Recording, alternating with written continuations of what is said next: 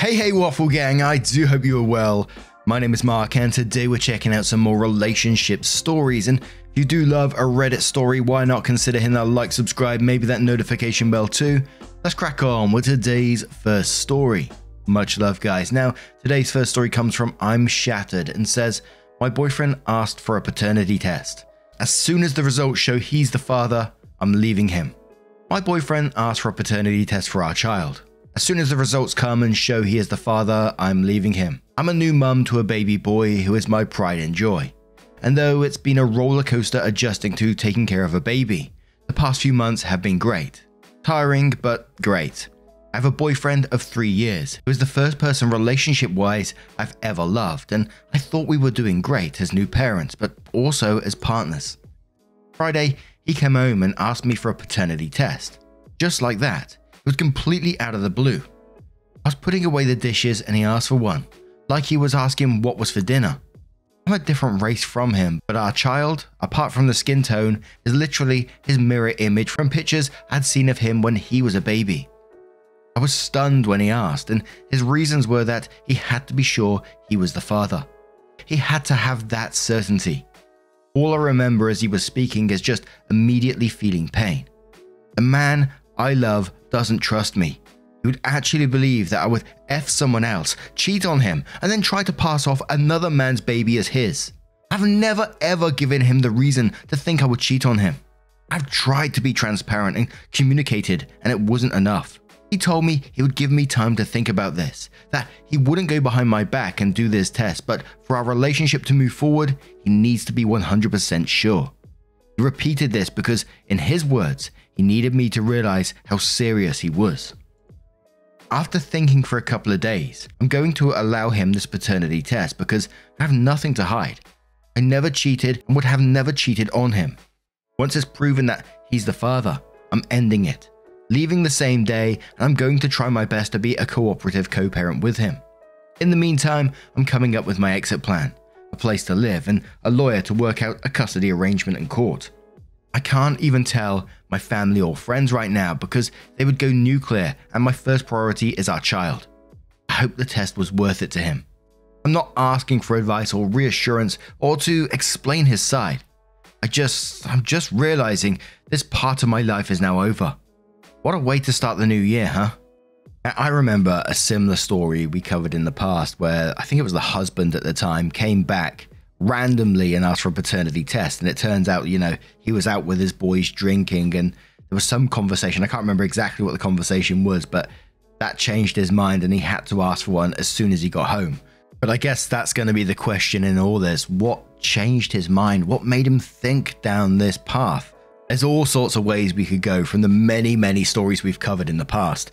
But I always think about once that line's been crossed, you know, you've, you've basically been told you, you're not trusted. Look past that afterwards. It must be incredibly difficult. Obviously, marriage counseling for one might help, but would you be able to look past that? But in the comments, TX Potato Farmer says the best advice I heard about a divorce or separation is to say, This is now a business decision. Make all your decision making be from that point of view. Let your friends and family, your clergy, if any, and your therapist be your emotional support system. Kudos to you for stating outright that you are going to try and co parent. You sound level headed despite what is going on. Sensitive Engineer says plenty of bio kids don't look like one or sometimes both of their parents. Random redhead in a family of blondes, light skin in a darker family, brown skin in a predominantly white family.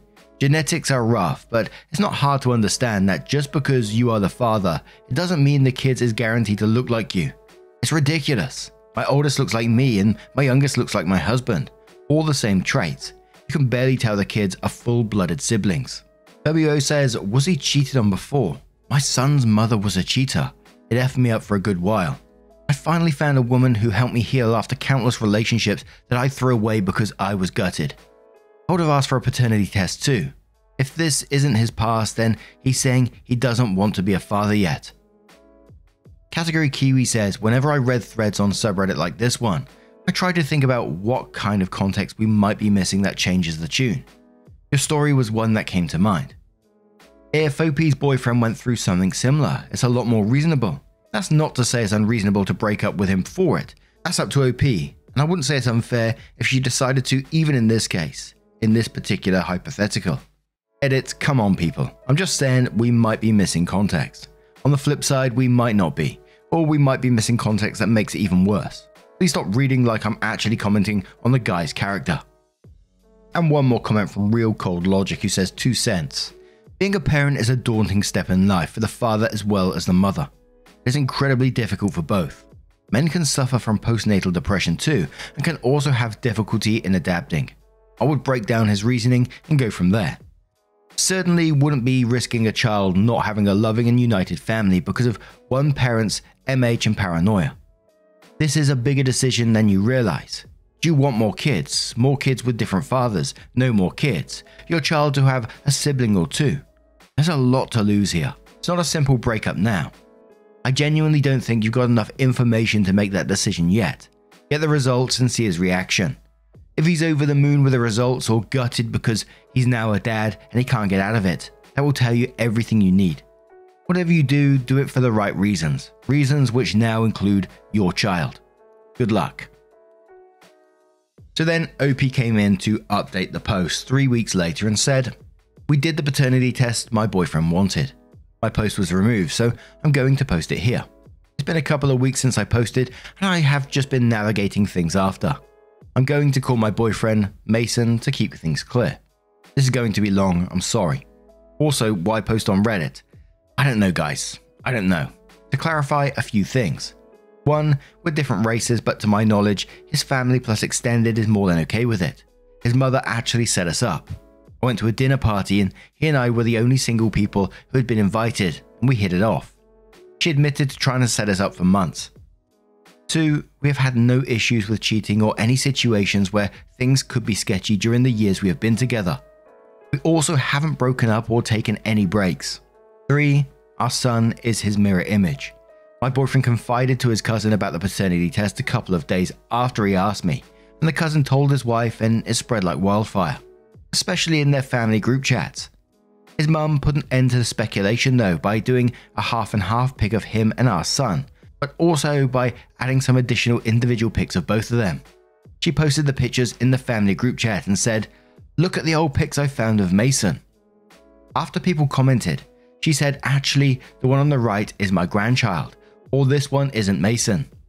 Literally, the family members just thought that it was the same person in all of the pics and that some of the photos were taken in darker lighting.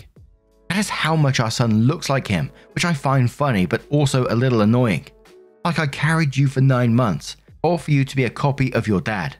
I didn't see the group chat, but the topic died down when his mum did that. Anyway, we talked. When I had made the first post, I was so angry and planned to leave, but the anger was quickly replaced by hurt once I calmed down. I realized if I blindsided him like that, I would be doing the exact same thing that he did to me when he asked for a paternity test. I planned to ask him to talk, but I also didn't want him to think I was trying to get out of the test. So beforehand, I booked an appointment at two different paternity test locations. I asked him to talk when he came home, and I made sure our child was at my mum's. I told him that whatever happened with this talk, the paternity test had been booked and would go forward. I basically asked him his reasoning, and when he started having doubts about paternity, was it a previous relationship? Did cheating happen? He said it was about a week before he asked me that he started having doubts. He said that he was on his lunch break one day, just reading articles, and and he clicked on an article about a man who found out his three kids weren't his after like 20 years. This led him into a rabbit hole of podcasters and YouTube videos that encourage men to ask for paternity tests. While he thought those podcasters were idiots, he said that paternity was an exception. He said his reasoning was that some women have done this before and he wanted to be sure. He said, You know it's yours because the baby comes out of you, but how do I know? The test gives me that assurance. I was hurt by that, but I decided to explain how I felt. I said that for him, it was a rational request, but for me, it was basically him saying that he doesn't trust me. It was him saying that he believed I would cheat on him, get pregnant, have him emotionally, financially, and physically support me during the pregnancy and birth, and basically lie to him while he raised another man's child. I told him that I understand that women had done this before, but the fact that he thought I would do this to him is what bothered me. I told him the truth that when I was angry, I had planned to leave and that I even went looking into a lawyer, a co parenting plan, and a new place to live. He was stunned. I would leave for something so small.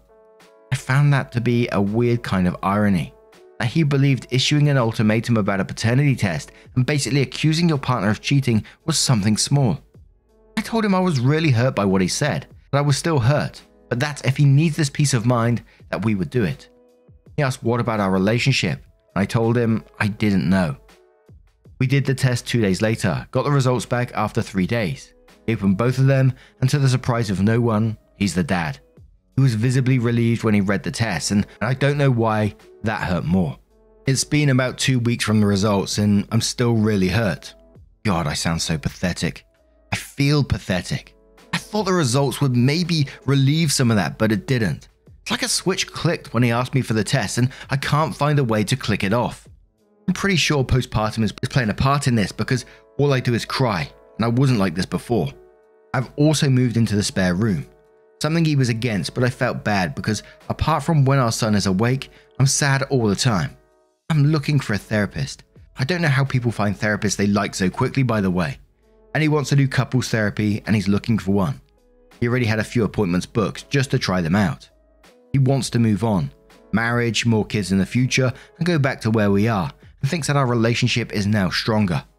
While I'm just thinking our relationship right now is weaker than a person on stilts. I don't know if I would say we are together.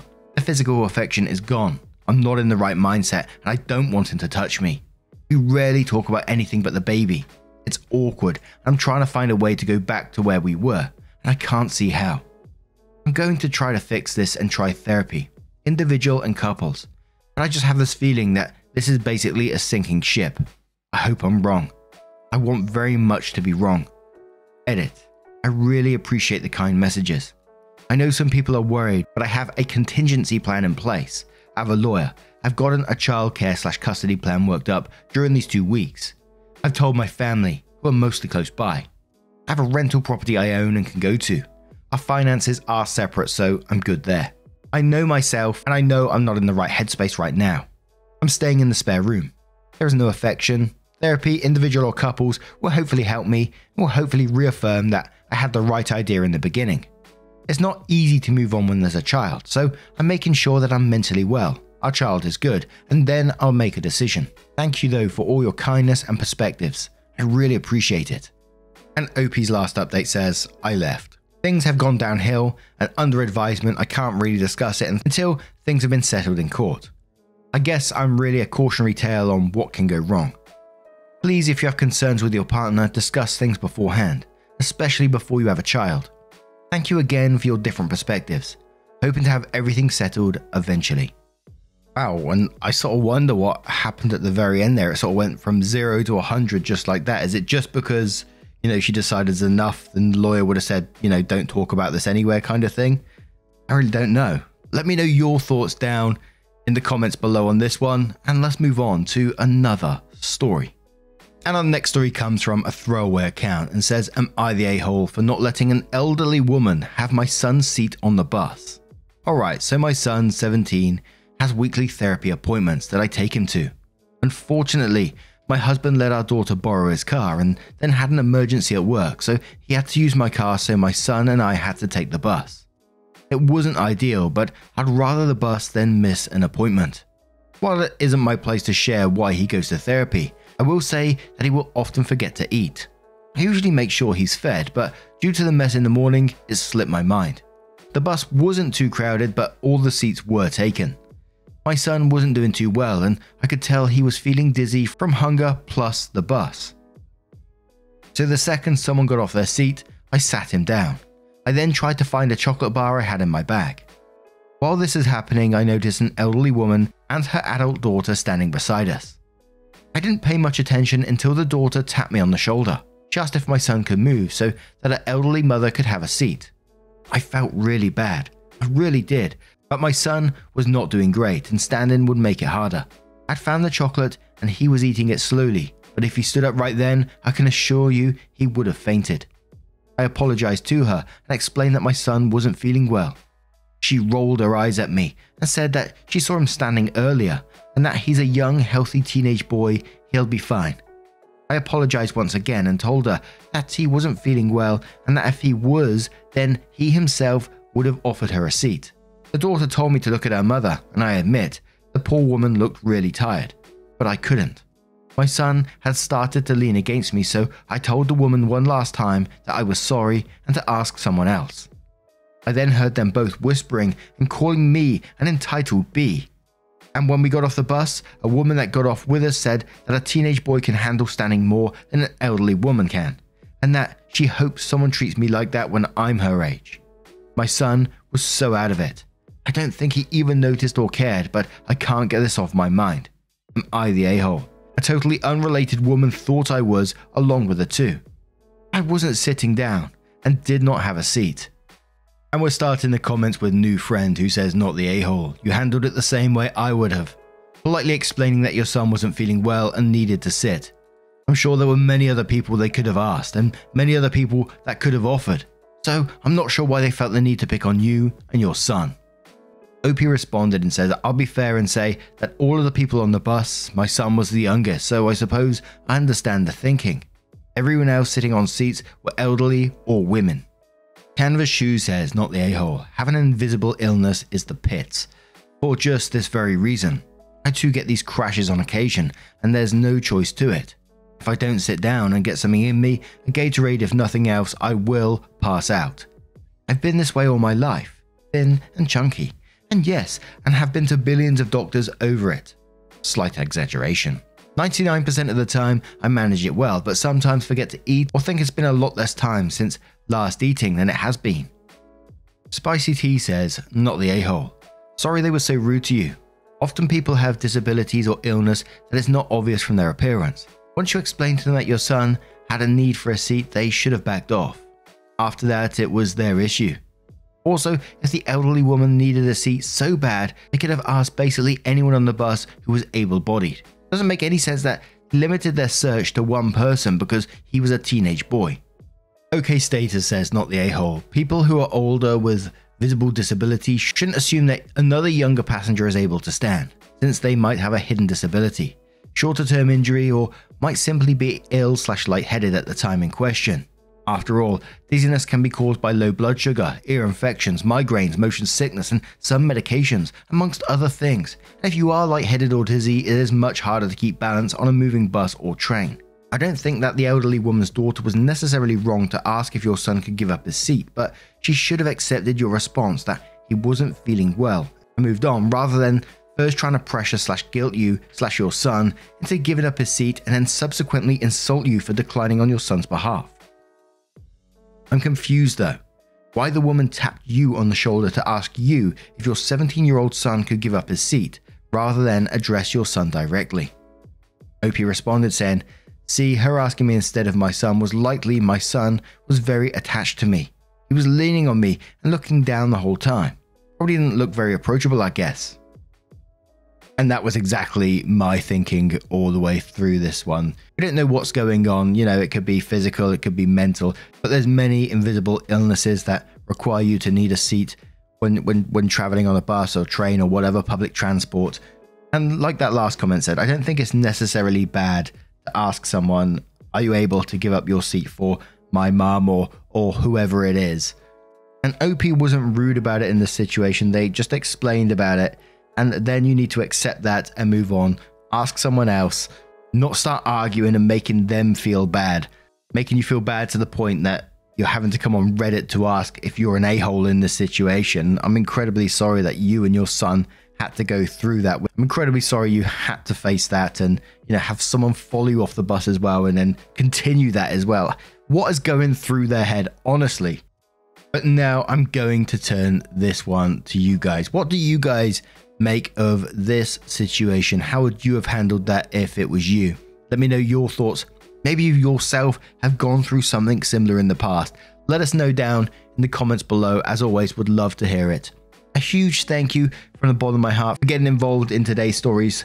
Thank you so, so much. And if you do love a Reddit story, why not consider hitting the like, subscribe, maybe that notification bell too. And don't forget there'll be a playlist at the very end of the video with a couple of videos there you can click on and it will scroll through all the videos automatically for you.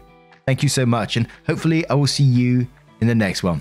Take care and much love.